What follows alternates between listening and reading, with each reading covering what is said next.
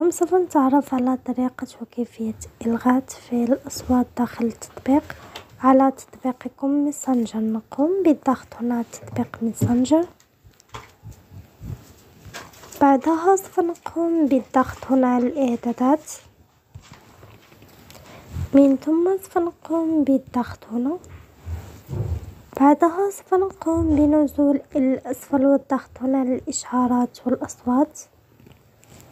من ثم سوف نقوم بالضغط هنا على الأصوات داخل التطبيق.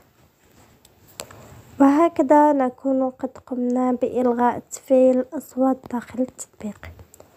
بهذه الطريقة نكون قد قمنا بحل المشكلة.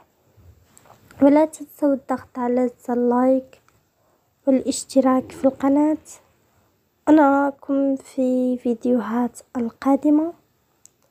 إن شاء الله.